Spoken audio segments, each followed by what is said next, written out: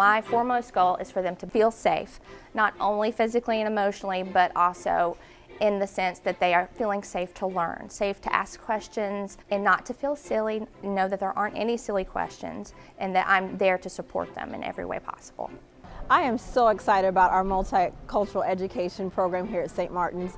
We really believe in trying to immerse our students in the entire culture in which we want them to learn. Because we're in a global economy and a global market, it is important at St. Martin's that we are preparing our students to go on beyond Atlanta if necessary, beyond the United States. We are really hoping that we can prepare our students to go out and travel the world and be a leader in the world.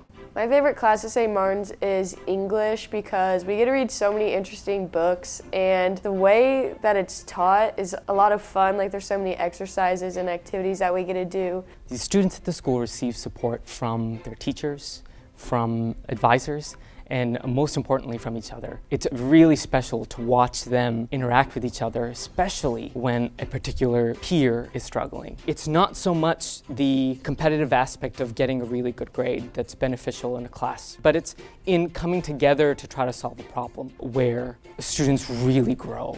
My daughter and my son have been uh, academically challenged, but again in a balanced way. And as a parent, knowing that it's the right balance for them and they're not being pushed too hard too fast but yet being challenged is exactly what you go for as a parent choosing a school. Obviously the kids are going to be challenged in high school and college and the rest of their lives. But on the other side of that coin, not only is it challenging, but it's nurturing. Because if you're going to be challenged, there needs to be the other side the teachers give them plenty of help. The, the teachers are accessible. So I think, I think St. Martin's is very challenging, but I love the fact that it's also nurturing.